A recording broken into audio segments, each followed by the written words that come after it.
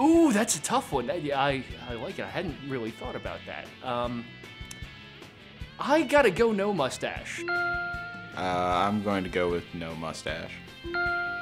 Uh, he looks good either way, actually. You know, he, he really does. Oh, I'm a big uh, proponent of the mustache.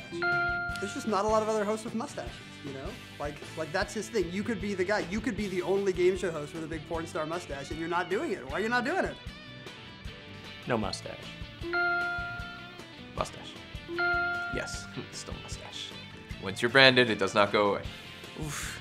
I've grown used to, to none. Um, he, he can he can grow a righteous mustache, a Hall of Fame mustache, but um, I also associate that with so much of the the 1980s and such that, that I, I think he, he looks very dapper without. So.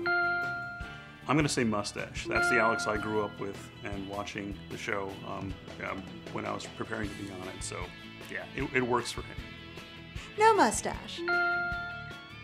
Uh, no mustache. I've seen them both ways. You know, as somebody who has a beard, my feeling is you go with what's comfortable for you. All the times that I've been on the show, it's been no mustache, so I think that's kind of that's the Alex I'm used to now. You know, for me, he'll always have a mustache. I, when I look at him, I, I, I pencil it in in my mind. You know?